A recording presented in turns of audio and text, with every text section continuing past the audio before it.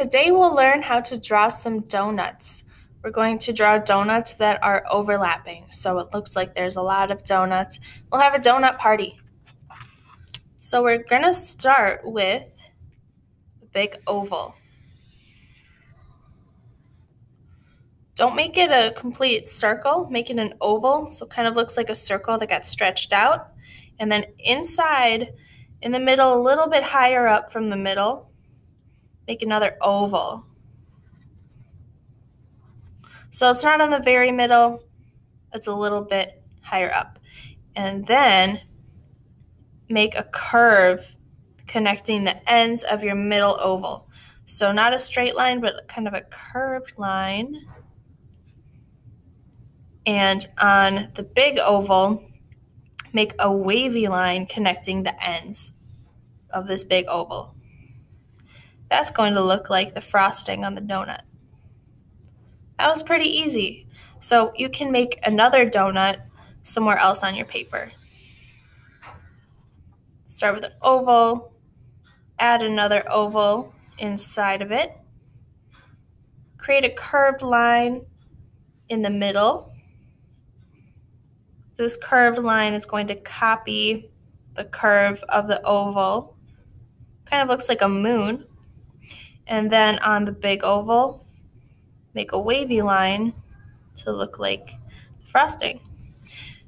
To make this look like it's overlapping or on top of another donut, make an oval starting from the side of this one.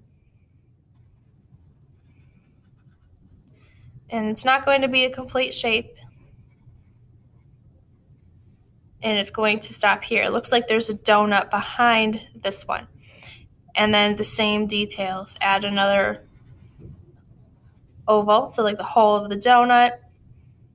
Make your little curve, your moon shape, and then your wavy line. And that's going to stop right here. So make another donut, maybe behind this one.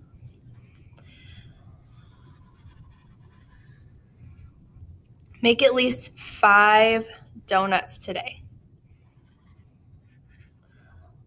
So oval, oval, curve, wave. And I'll make another one right here. Oval, oval, curve, and then a wave. The last step is to add color. And while you're coloring your donuts, think about what colors you want to use. I use bright colors for the frosting and kind of brown or other flavors for the um, dough part of the donut.